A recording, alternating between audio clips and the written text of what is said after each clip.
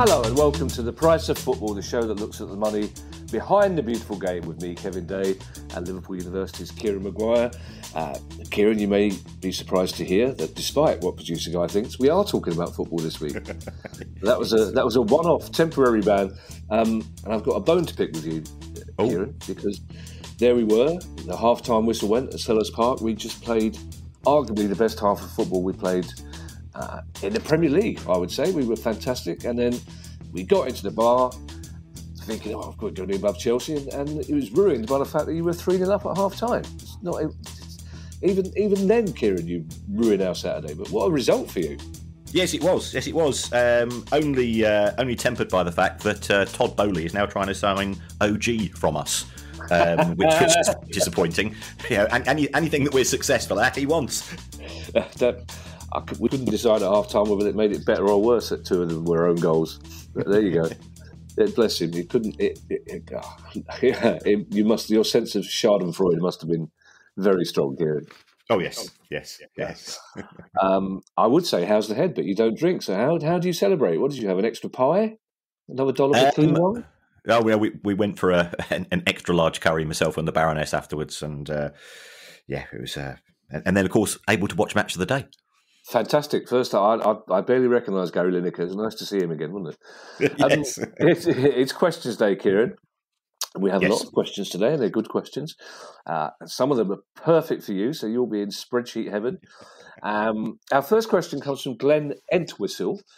And Glenn says, I've been reading through the accounts for Blackburn Rovers. So you've started a trend. What people, have I done? What people, I are done? Doing, people are doing it for relaxation. You're, you're, there's going to be marriages breaking up all over the uh, and Glenn's been reading through the accounts of Blackburn Rovers, and he says two things jumped out at me. Firstly, the money for the training centre sale to the owners won't go through until the 30th of June 2023, which mm-hmm. is over two years after it appeared in the books. Secondly, Rovers have entered into a lease for the use of the training centre, which appears to be for £415,000 a year. Should we be delay, worried about the delay in the settlement of the purchase? And is it not counterproductive to charge rent back to the club after buying the training centre to help with profit and sustainability rules? Yes, uh, well, the points you raised, Glenn, are, are valid ones. The whole reason why the uh, training facility was sold in the first place would, was that without it, Blackburn would have been in breach of FFP mm. rules. So we've seen this at Reading, Sheffield Wednesday, uh, Villa, uh, Derby, and, and Blackburn um, until uh, until I think it was June twenty one.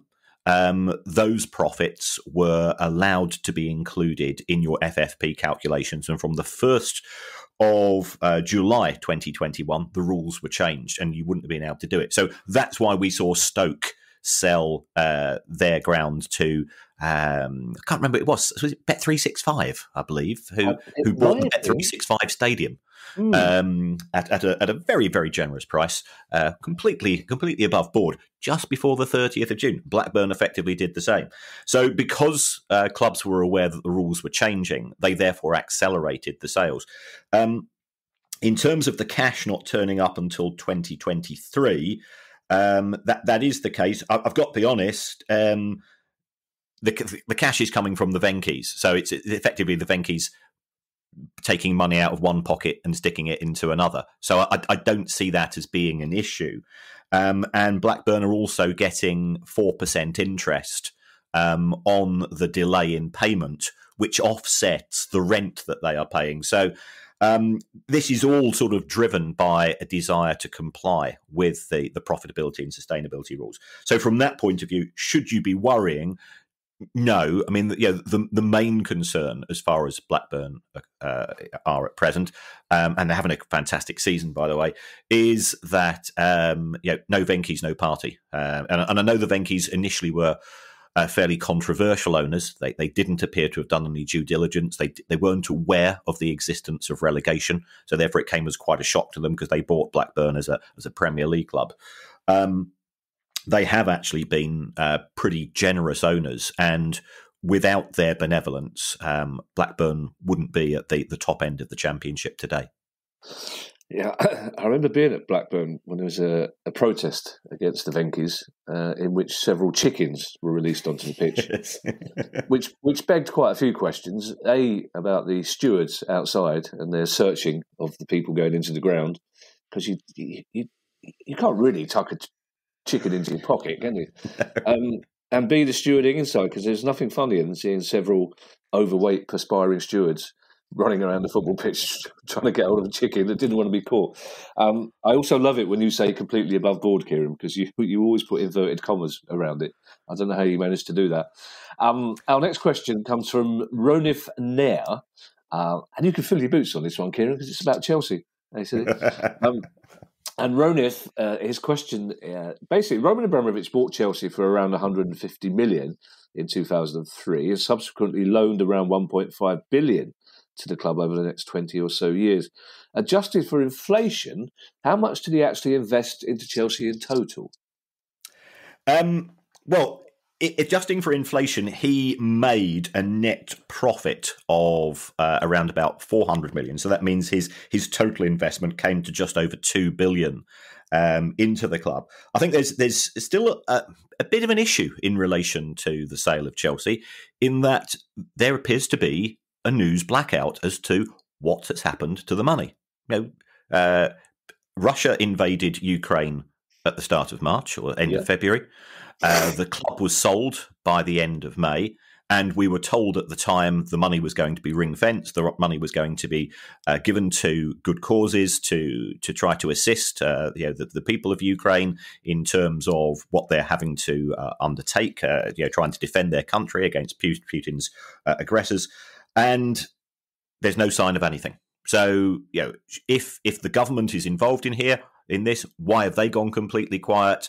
Where where is the where is the news in relation to it? Two and a half billion pounds is a lot of money. It can make a difference uh, in terms of being able to give humanitarian aid to to try to assist these people who are going through uh, you know, a, a horrendous uh, experience at present through no fault of their own. Yeah, it, it, interesting, Kieran. We have a guest on. I don't think it's next week, the week after, who has done a study into the finances of Ukrainian football since mm. the invasion. So that's a question maybe we can put to them because, as you say, it would be a substantial amount of money and it would really help the people of Ukraine. But so you say that he made 400 million profit. So Abramovich, despite all the money he spent on Chelsea, was still making 20 million pound profit a year. Well, only in the sense that the value of Chelsea as a club was growing all the time.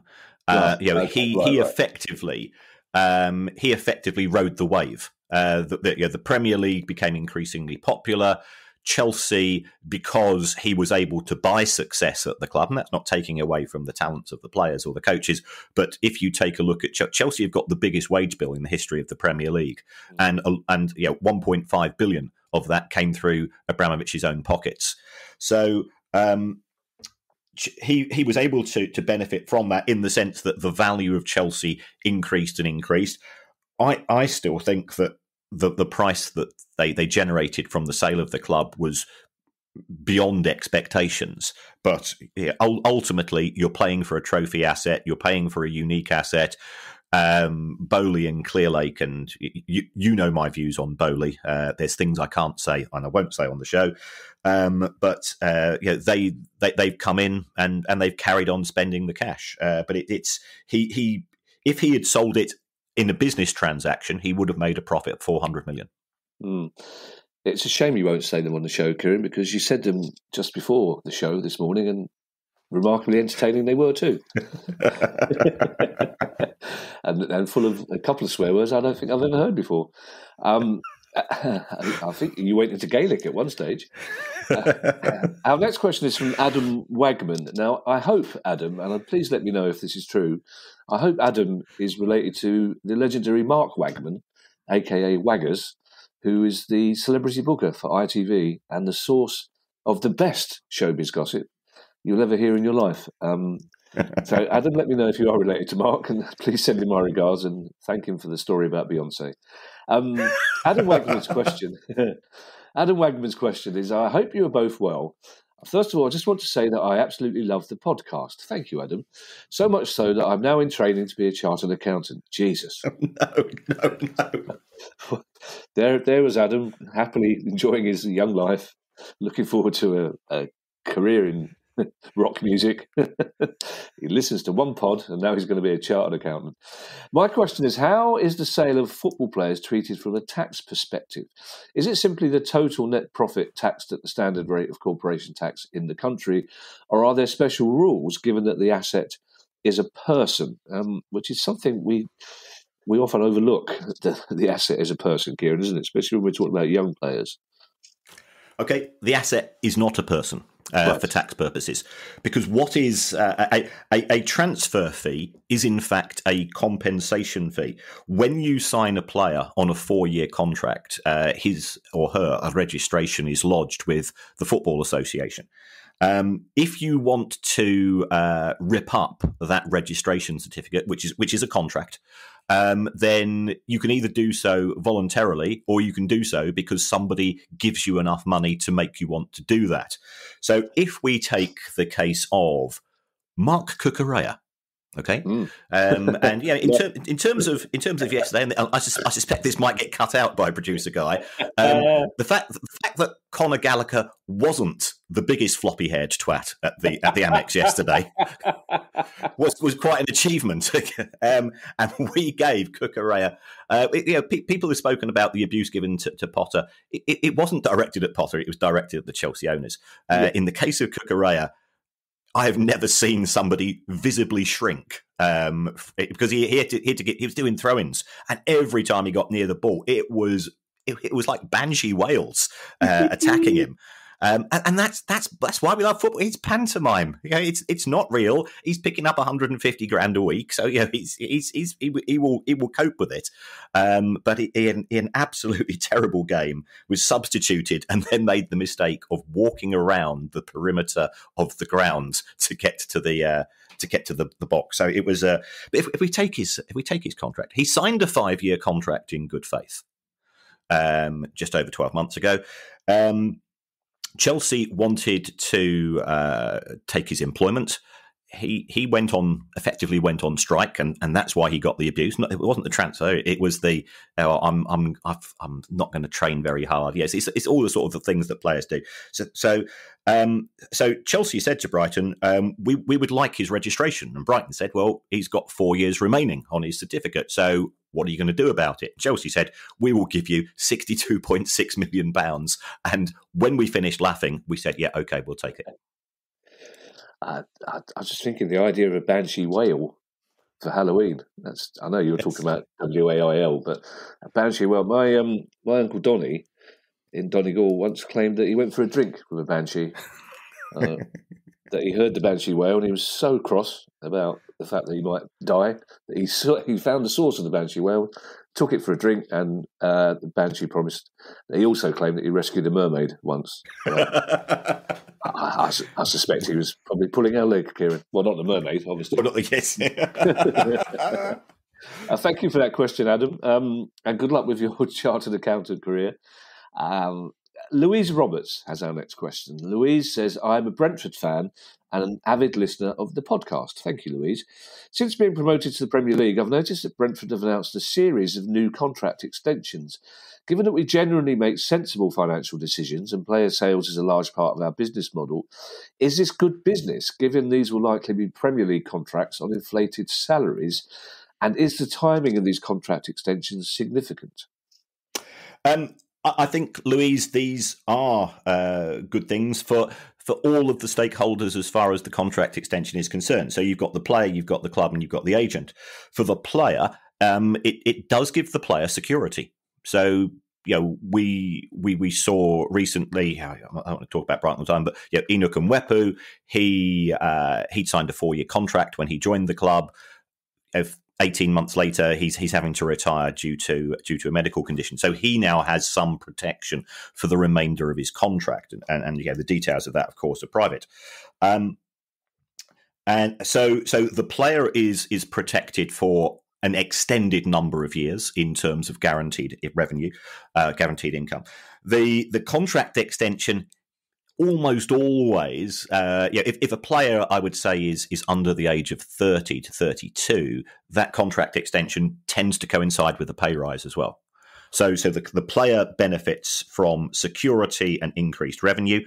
From the club's point of view, by getting a player to sign a contract extension, it reduces the ability of the player to to leave on a Bosman because yeah. if you sign a four year, four year contract, you get you, they've been there for three years, they've been half decent. You're now starting to get squeaky bum time. You know, the, the player could either sit out that final twelve months, you know, and and you know, uh, people say, well, players will just go through the motions. Players don't because they, they know they'll get dropped. And also, you don't want to go and set yourself a reputation as a player that only turns it on when you know, at the early years of a contract. But also from the club's point of view, when you get into that position where a player's got 12 months remaining on the contract, the value of the compensation fee, and, and, and this is going back to to Adam's uh, question that we, have just been looking at. And, and in terms of this, and I, I, didn't mention, in terms of tax, it's just treated as the, the sale of an intangible asset like all other intangible assets, so subject to normal corporation tax. So from the club's point of view, what they don't have to uh, suffer in that in that last 12 months is you, would probably look at a you know a 15 20 25% reduction in the player value or the transfer value because clubs will buying clubs will say, well, okay, we're prepared to sit it out for twelve months. So therefore, we're prepared to offer you a lower fee. So so there's benefits to the club. There's benefits to the player. The agent will have negotiated on behalf of the player, so the agent will will get a commission as well. Um, and, and provided the player turns out to be okay, then then that's good. But you know what happens if you know Arsenal with Ozil, Arsenal with Aubameyang? You know we, we've seen players get towards that that last 12 months there's pressure from the fans because the player is a fan's favorite and is delivered and then the contract extension comes along and for whatever reason the player's form deteriorates you know that's when that's when the club can lose out yeah, just for the benefit of newer listeners, Kieran, or, or, listeners who may not be completely aware, can you just briefly explain what you mean by doing a Bosman? Yeah, the, the, the under um, under, under a court case in 1995, I think it was. Yeah. Um, the Jean-Luc Bosman was a Belgian player who had a contract at uh, Standard Liège, Standard like yeah. yeah, Standard Liège, and um, his contract expired, and the club said we want to uh, re-employ you, but on worse terms. Yeah. And he said, Well, I don't think that's very reasonable but he didn't have a choice. Un- under the rules at the time, uh, as far as the football industry was concerned, you were effectively a tied labourer. And it was only when the club deigned to uh, terminate the contract that you could actually go and find employment elsewhere. So therefore, he uh, he put in a legal claim. Um, which was successful, which effectively said that at the expiry of a contract between player and club, the player was entitled to move uh, to find alternative employment, and no compensation um, was required, and, and, therefore the player could effectively move on a free transfer. And, and we've seen players start to exploit this at, at the elite level. So, you know, uh, Pogba moved from Manchester United to Juventus for nothing on a huge wage. We saw Ibrahimovic come to Manchester United effectively on a Bosman a couple of years ago. He got a huge salary. Um, in the case of Kylian Mbappe, his contract expired in the summer, and he was effectively able to go around to Real Madrid and his current employer and says, "Well, okay, there's no transfer fee involved here. I think I deserve a bit more compensation." And he got it was it's estimated to be 150 million pounds signing on fee plus a pretty tasty uh, wage on top of that. Yeah. I'm, I'm going to go for John Mark Bosman. So oh, yeah. Yeah. between between the two of us, I think we've got it. We'll have got it right. Unfortunately, some people have already tweeted after they heard. You've, have you been watching Star Trek again, Kieran? Have you been celebrating? um, our next question is a rather plaintive one, and it comes from Robert Whitaker. Uh, Robert says, "Now that Scunthorpe United have been relegated from the Football League, could you cast some light over just how much of an existential threat Scunny are under?" As I understand it, the club has crippling debts, an owner who stood down as chairman but not distanced himself from the money the club owes him, and the club's future at Glanford Park is uncertain as well. Yes. Um, so Scunthorpe, uh, yeah, I, I, can remember Scunthorpe in the Championship. They are yeah. now yeah. at the at the wrong end of the National League. National yeah. League is really competitive. Some of the crowds that are being generated in the National League this season uh, are absolutely incredible. And and for those people who are feeling a bit half-hearted about the World Cup, go and find your, na- your nearest you know, grassroots football or National League team and go and watch them. You will have a great day out um, and it's cheaper. Um, but back back to the position of Scunthorpe. Um, Scunthorpe are effectively owned by a gentleman called Peter Swan. Uh, he uh, he's a nightclub owner. He's a property developer. He's involved in racehorses, uh, I believe so as well. And um, under Mister Swan, um, on an operational level, Scunthorpe have lost sixty thousand pounds a week for for nine years, coming on ten years. Wow! Um, so yeah, that that's a lot uh, to have to deal with. And to give Mister Swan some credit, he's he's effectively underwritten those uh, those losses, but that's not coincided with success um, on the pitch, and that leads to fan unhappiness. So he's been subject to you know a, a, a bit of stick, you know, a few pantomime boos, shall we say, on occasion. Um, now, in, in respect of Scunthorpe's ground, Glanford Park, um, that was sold to Coolsilk, which is Peter Swan's company, uh, about a year ago. Um, and, and that effectively was in lieu of him collecting some of the money which was due to him.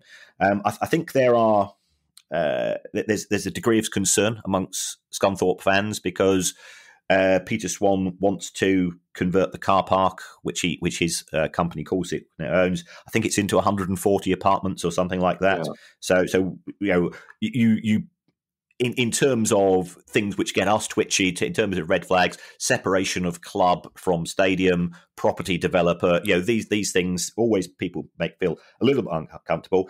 Peter Swan did step down as a director of the club. He says, I'm not involved in terms of its day to day activities. He did that around about six months ago. And then in July 2022, um, and this is according to the Grimsby Telegraph, I believe, he said he'd agreed a price um, with prospective owners. You know, and it had it was it was one of those open secrets in football that that Scunthorpe was up for sale. Um, and that was in July. Says you have agreed a price with an owner, can't reveal the name because we signed non-disclosure agreements. All all that that seemed quite reasonable. Um, and, and then it's all gone very quiet. Um, and you know, then then the rumor mill starts. So, yeah. you know, is there a danger of the club going into administration? Um, I, have I've heard stories. I, I, cannot give them any credibility or give them any or, or, dismiss them. You know, it's it's that that sort of you know abstract position that we're in. In fact, I've, I've been in contact with some people from Scunthorpe this week. Um, not not Scunthorpe Football Club, but some people I know uh, who who are Scunthorpe fans, and you know they're, they're getting frustrated. And you know if you've agreed a sale, then then why hasn't it gone through? And it tends to come down to the small print. It come it comes down to the money. So is is Peter Swan hanging out for more money? We don't know. Have the uh, prospective owners, as, a result of their due diligence, have they lifted the carpet and they've not liked what they've seen? As can be the case. And remember when we spoke to um, when, when, we spoke to the, the Jags Trust in respect to of Partick Thistle, with the ludicrous situation of, of that club, uh, where the people in control say, "Well, we'll we'll give you the club, but we're not we're not telling you what you're buying," which yeah. was yeah, which yeah. is ridiculously unprofessional. Um, and, and, we've not heard from Partick. Yeah, we we put out an open offer. Uh, we're not, disappointing that we've not heard from the club itself. So existential threat. Um, no. Um, is is the club's future. Can, can I put a cast iron guarantee that there's absolutely nothing to worry about? I, I can't say that either. So it's it, it's twitchy, but it's not it's not terminal. Is what I would say. Uh, what would you expect to pay for Scunthorpe United? Well, you, it's it's an it's a non-league club. It's it's got a bit of well, it hasn't got any property. Um, so you know, is it a case of buying it for a pound and, and and taking over all the responsibility for the liabilities. That could be the case, or is it a case of the new owners coming in and buying the the property assets and the rest of the football club? In which case, I think you know, it, there would be a few million.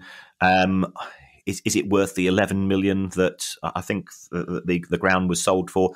I'm, I'm, not convinced of that either. Our next question comes from Villa Lagerstedt. Uh, Villa says, "Is it a positive thing that UEFA now limits player wages to seventy percent of club income?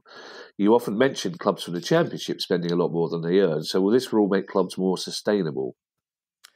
Um, is it a good thing? I, I, think I think we have to go sort of go back one step and say what exactly do we want in respect of football? Because if you want a game where the priority is to be sustainable, um, then it could be argued that the new financial and sustainability rules, as brought in by UEFA, and, and people not familiar with those rules, what they've done is that they've said that that this season player wages and agent fees um, cannot exceed 90% of revenue. That drops to 80% next season, and then it's going to go forward at 70%. Um, so, this is what we sometimes refer to as a soft wage cap. Um, that does have some merit. It also has some demerit. If you are a club such as uh, you know, Manchester United, Manchester City, Chelsea, yeah, the, yeah, the big six. On average, their revenue is is around about 450, 500 million. So 70% of that means that they can spend 350 million on wages. If you then got an ambitious club such as Newcastle, whose revenue is say closer to, to 180 million, you get 70% of that, and, and that limits your wage bill to yeah what 145 million or so. So it means that they've got less than half the wage budget of uh, of, of the big six, and it makes it that much more difficult. So it locks in the existing closed shop. And, and people say, well, you know, why am I using phrases like this? If you take a look at the the clubs that have qualified for the Champions League over the last decade, with the exception of Leicester, it's it's all been from the usual suspects. It's all been from the, the Super League clubs. So so that's that's the that's the downside of having a soft wage cap. Um, it will reduce some of the financial excess in terms of money being spent it will mean that the the opportunity for somebody new to threaten the existing elite becomes increasingly difficult. And we know that you know, the owners of Villa are keen to do that. If the 49 49ers take over Leeds you know, could Leeds do that? Because Leeds, you know, we know that Villa and Leeds and Newcastle they're all big clubs. They all have got the the, the the capacity in terms of a fan base certainly domestically to be challenging. And you and I, Kevin, you know, we remember Derby County, Forest, Villa, Blackburn, Everton all yep. winning the top division. We remember Leeds winning it. Um, and the, the sort of the mentality these days that the big six have a God given right to fight amongst themselves for the trophies is, is is a narrative which I always feel very uncomfortable with. You know, when when Ipswich were runners up, and you you, you can remember that and you know, under Bobby Robson, those, those, were those were QPR. Um, yeah. Yeah, those were genuinely exciting days yeah. for everybody in football, as opposed to just a protected elite. Well, increasingly as well, it's not even six clubs, is it? It's it's two clubs essentially mm. that are fighting it out.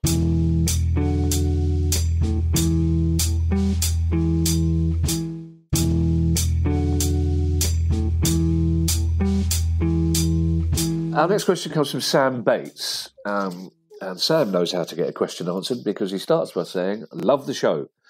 Thank you, Sam. the show loves you back. Although Sam says, as an accountant myself, it can be a bit of a busman's holiday to listen to in my morning walk or run, but always informative. You'll get that BAFTA one day. That's the sort of fighting talk we need. Thank you, Sam. Yes. My question is Can Kieran go into more detail about how he calculated Premier League inflation? I saw him name checked on a YouTube video showing that Alan Shearer to Newcastle would have cost £222 million today. How was this index created? Was it based purely on rising TV revenue, or were players of similar statistical quality and age benchmarked over the years? Right. Um, well, thanks very much, Sam. Um, this this originally came about because I was contacted by Alex Kay-Jelski, uh, who's the editor of the Athletic, and he said they wanted to work out some form of player calculator and, and could I help? So um, what, what I had to do this is, is I I did it on the basis of if we, if we just taken a look at the the consumer prices index since 1992 um, and factored that in, um, the consumer prices index, um, which represents uh, you know, prices for us as as punters, that's risen by 98 percent uh, between 1992 and 2022. Um, but we know that football has expanded as an industry. So what I did is I got every single set of accounts for every single club that has played in the Premier League from 1992 to 2022, uh, as well as their wage bills, and I, and I stuck those all onto a giant spreadsheet. Um, and then it was possible to work out what we might refer to as football inflation. Um, and under this, um, we have a football inflation based on, uh, and um, Sam you know, refers to increases in income. So if it's based on increases in income, it worked out as just over 2,800%. And if it's based on player wages, uh, player wages have actually risen not just faster than retail prices, but faster than football inflation. Player wages have gone up by 3,200%. So wow. I put that into yeah, I put this into a, a, a big website, um, and then I'm indebted. Uh, whilst I'm whilst I'm quite good at digging out data, and and I, and I've got the patience of uh, of of Finley waiting for a wonky tromp. Um, I, I'm I'm not actually very good at Excel itself. I'm, I'm not very. I wouldn't call myself a spreadsheet whiz. So um, I, have got a colleague, uh, Jason Laws, at the University of Liverpool, and, and Jason is uh, is a a huge Sunderland fan, but b he is an Excel god. So um, together, uh, myself and Jason, we created the Maguire Laws Index, and we we put this into a, a, framework and we sent it off to the Athletic and said this is how you can do it, and then their individual uh, sort of club uh, reporters. They said, "Right, we're going to pick half a dozen players, iconic players from our team over the years, and how much would it cost today?" And and that allowed them to work out the, the 222 million for Alan Shearer and so on. So I, I, noticed that he did all the hard work, Kieran, the Excel god, but it was still your name at the start of the index. yes, I know. the Maguire laws. Um, yeah, I, I, know we're not here to plug other products. Horrible word. Um, but Dominic Fifield, uh, who's a journalist I know and admire very much, wrote a fantastic piece about Ian Wright uh, when he joined Palace uh, on the Athletic recently. I Palace fans, any football fans, should search that out. Dave Moore has a question about vloggers.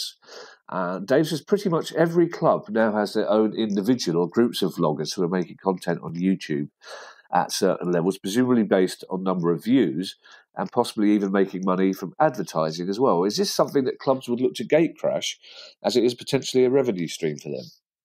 Uh, well, it, it, certainly is a lucrative uh, endeavor for those people involved.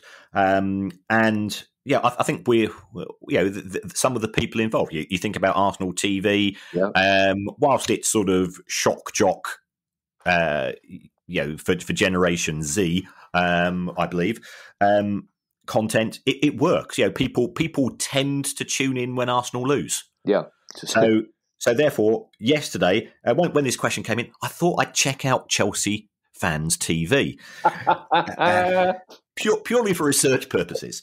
Um, and, you know, and, and and they've got it. Um, and you know, it's it's quite often you'll you it's it can be a variety of ways of delivering the product. So sometimes you will have a, a fan who will you know, take their phone with them, and it's you know, walking up to the ground, talking through what happened during the 90 minutes. Chelsea lost 4 1, by the way.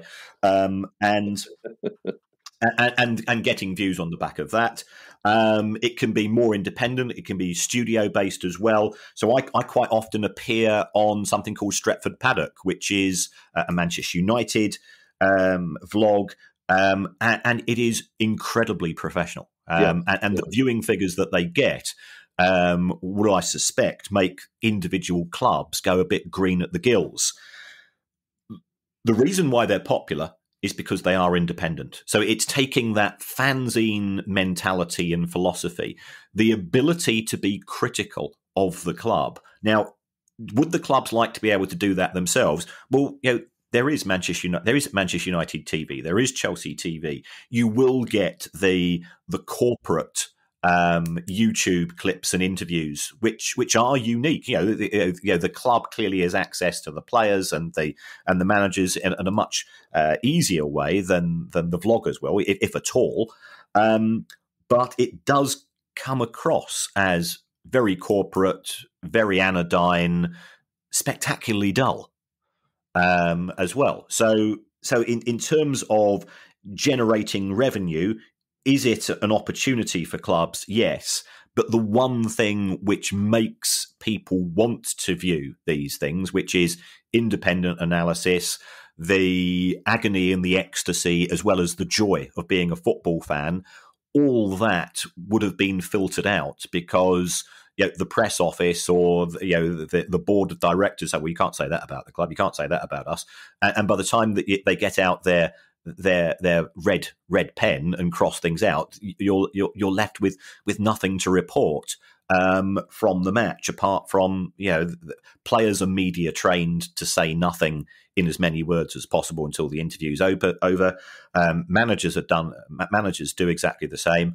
Um, the, the reason why why this show is is reasonably successful is because we are independent and you know we, we have had offers from institutions to buy us out and, and, we've always said thanks but no thanks because we quite like the idea of having full editorial control which we would lose under those circumstances yeah uh, i have to say because uh, I know one of the chaps who who runs it listens to our pod. But I love I love Palace TV. Palace TV is brilliant. There's no other way I'd find out what Joel Ward's favourite pasta is. Palace TV wouldn't. I did, there's too much research involved, but I put Palace TV in and I can find out whether or not he's happy or unhappy after a 3 0 defeat away. It's very good. Robert McPherson says, I hear you often saying how Scottish football teams are run quite well. I was wondering if my team, Ross County, might be the exception. As far as I'm aware, our magnificent owner funds the club to the tune of a million pound plus a year. So, what happens when he inevitably moves on? Um, yes, I, I, think you've got you've got a very good point here, um, Andrew. I, I Robert. I, sorry, Robert. I'm I'm I'm losing losing track. Sorry, Robert. You, have got a quinoa hangover. That's what you've got. I, I have. Yes. um, as far as Ross County are concerned, they they do live beyond their means as far on an operational level, um, and yet they always break even. And, and, the reason for this is is that the club owner um, has lent the club money, and then what he does every year is say, um, "I'm going to write off a, a, million pounds worth of my loan," which and and their their operational losses are around about a million per year. So they they are trying to compete with a bigger budget than than would independently be allowed. Um, is it a case of the club would have to change when when the owner changes? I, I think I think that is the case, but but that is always the case. You know, yeah, you know, we we we are both indebted at our clubs to to fans who happen to be independently wealthy coming in and putting money into the club at the start of that that, that relationship if if we, you then get taken over by an American private equity fund, uh, their their return on investment is financial, whereas that of Steve Parish and Tony Bloom is emotional, and, and therefore they've been willing to to you know stick their hands in their pocket at times when necessary. Yeah, uh, Robert's just expressing the fear of a lot of fans, isn't he? As you say, mm, that yeah, the, absolutely. The current only moves on. Uh, our final question comes from Andrew Carruthers, uh, and Andrew says, "Is it only the Saturday three pm blackout that's stopping the Premier League from bidding off the Sky and BT deals and launching their own worldwide streaming app. We were talking about this the other night, and some quick Googling, back of a beer map calculations, suggests they can make far more money going it alone. Uh, Andrew says, Excuse my rough calculations, and I hope my figures are correct. But uh, Premier League worldwide TV deals combined was 9.1 billion over three years, so 3.03 billion per year. Mm-hmm. Let's conservatively say they got 10 million pound, 10 million worldwide subscribers at 45 pound a month. Then they would get 5.4 billion pound a year. At 30 pound a month, they would still get 3.6 billion a year. I hope my maths are correct. Well, yeah. Firstly, uh, Andrew, yeah, uh, big big tick in terms of, of crunching the numbers. Um, I, I, think the issue that you've you've raised there um, is an interesting one, and it's certainly something which has been spoken about um, as far as the Premier League themselves are concerned. So you know, there's been talk, um, there's been talk about you know, Premflix or, or something similar. Um, I think the big challenge for the Premier League is firstly the relationship that they already have with Sky, BT, Amazon, and the BBC is is a very positive one. The the quality of the broadcasts is good. The quality of the punditry. I know some people don't like it, but I, think in the main is, is is pretty good. And you know, again, again, we've got our we've got our bespoke pantomime villains um, in in the in the, in the punditry, just as we have on the pitch. Um, as far as having a worldwide streaming app, there is already an issue as far as broadcasting is concerned. Um, I, I, I saw from the Financial Times the other day um, that Sky's subscriber base has is starting to decline. Um, yeah. yeah. and that's on the basis of the last quarter. Well, why is that the case? Um, there's there's a much broader issue in in terms of people suffering an economic squeeze. Um, broad uh, football football on TV on a subscription basis, it's a luxury. And and if you and if you are if it's a case of heating the house or, or having Sky and BT, then then you then you get rid of the TV channels. So so there, there is there is a decline now. You know those figures that I quoted were from Europe; they weren't necessarily from the UK itself. But I'm I, I'm I'm aware anecdotally talking to people. And also, I was actually quite surprised at the reaction that, that uh, came on social media of the number of people who said, I can't afford to do it. Yeah. And I know myself, I've, I've cancelled my BT subscription because I simply did the sums and say, I don't think I'm getting value for money. So, so you know, I think there is an issue.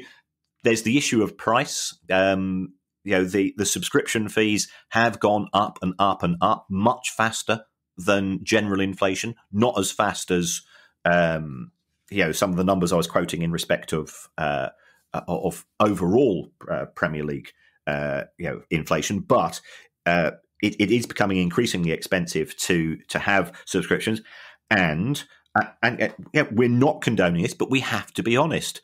There are alternatives yeah. to the legitimate ways of watching television um, when it comes to football, which is being shown live, and again, anecdotally, all I was and, and this and this was I can assure you this was not the reason I did. It. I did it because of the report in the Financial Times. The number of people that have said I've, I've gone IPTV. You know, people are getting yeah. getting sticks, and everybody knows Big Dave down the pub who knows another guy who knows another guy who can get you this. It's illegal. Okay, it is illegal. The Premier League have those rights, um, but there there is a view taken and it is not a view that I subscribe to or sharing. Um, there's a view to well, effectively it's a victimless crime. The players make an absolute fortune out of the game. Many owners are making a fortune out of the game. The TV companies are making a fortune out of the game. So why not go and go and pay X for this stick? And I'm paying a lot less. So I, I think there is a, a challenge for the Premier League, and there's a challenge for the broadcasters as well.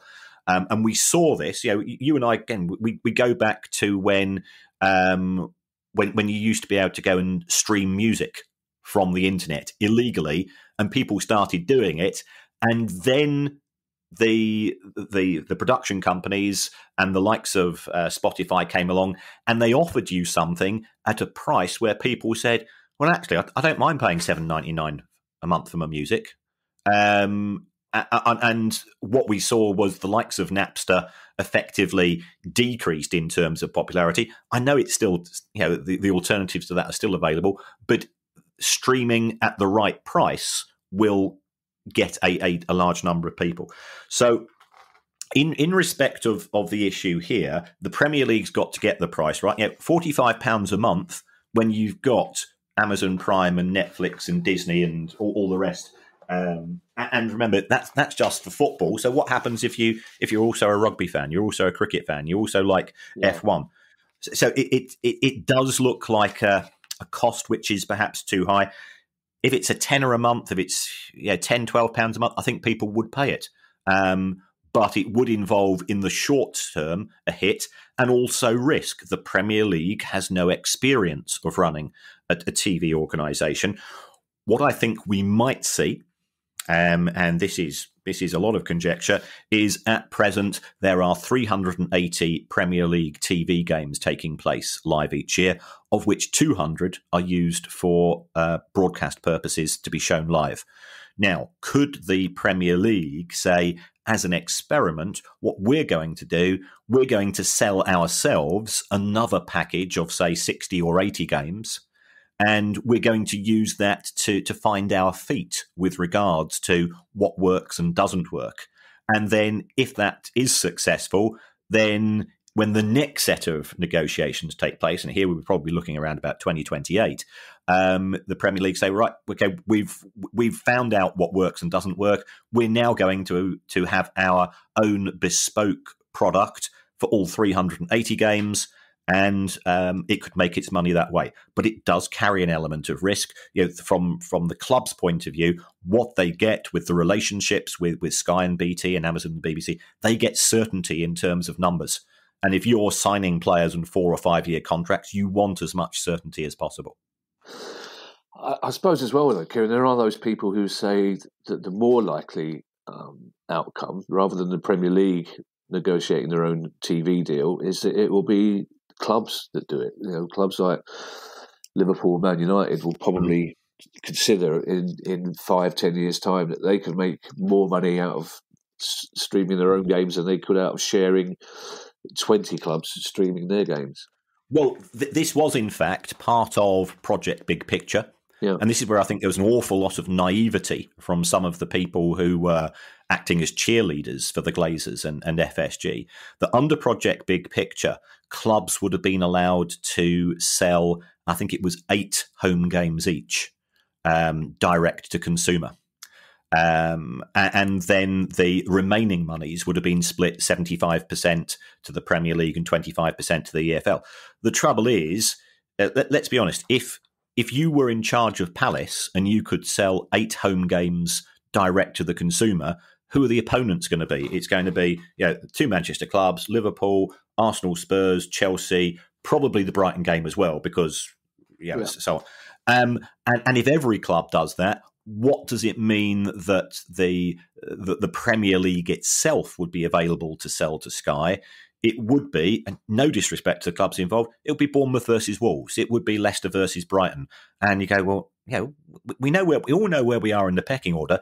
You're, you're not going to be getting three billion a year for for flogging those rights because they, they're simply not worth it. And therefore, this Premier League clubs would have got 75% of a much, much smaller pie. And yes, the EFL would get 25%, but they get 25% of square root of nothing because you know, the, the pie, there's, there's two issues uh, in relation to, to any form of distribution. There's the size of the pie and it's and how you cut the pie. Uh, and it's no point taking a bigger slice if, if the pie itself is, is only a tiny fraction of its original value. Yeah, if I was in charge of Palace, I wouldn't bother myself with broadcasting. I'd let somebody else sort that out, Kieran. I'd, I'd, I'd, change the kit back to claret and blue, and then pretty much lie back and enjoy the rest of the season. Uh, thank you to everyone who's donated to the pod via our Patreon page. If you'd like to make a small monthly contribution to the pod as well, that'd be very kind of you. And you can go to patreon.com slash price of football. If you have a question you'd like answered on the show, email us at questions at priceoffootball.com. We shall be back on Thursday with our normal news pod. And in the meantime, I shall hand you over to Mr. Kieran Maguire for his customary farewell. Um, well, thanks as always, folks, and uh, also thank you to um, the people from the uh, National League Club who contacted me, and, and you know who you are. Um, I, I, made an error in, in a recent show. I said I thought that most uh, National League North clubs had had gone pro, and I was wrong. There's only yeah. three of them. So, yeah. so, so, so, you know, uh, again, it's it's good. It's good to keep us on our toes, and we will always hold our hands up, um, and, and we will apologise unlike Graham Potter. Um, so Did, um, um, I wonder what Graham Potter's views on an independent regulator are, Kieran. yes, indeed. Um, so, if you want to support the club, Patreon is one fantastic way of doing that. Uh, another way is uh, this show is going out on the 31st of October. That's the final day in which you can vote in the Football Supporters uh, Awards, Football Supporters Association Awards. We have been nominated for Podcast of the Year we don't quite know why, but we're we're very proud and very grateful all the same of, of making that shortlist. So that's one way of doing that. Um, another way is to go onto your app, as uh, which you use to download the podcast, and, and, you can give us five stars. It helps us in the charts, helps us with algorithms, all that type of nonsense. Um, and it doesn't matter what you say. You could even say you'd rather have it produced as it is Halloween by the Count from Sesame Street and Freddy Krueger, and it wouldn't bother me in the least. I'm probably more scared of the Count from Sesame Street. That's how that's how scared I am of horror films and anything scary. Bye, everybody. Bye. The price of football.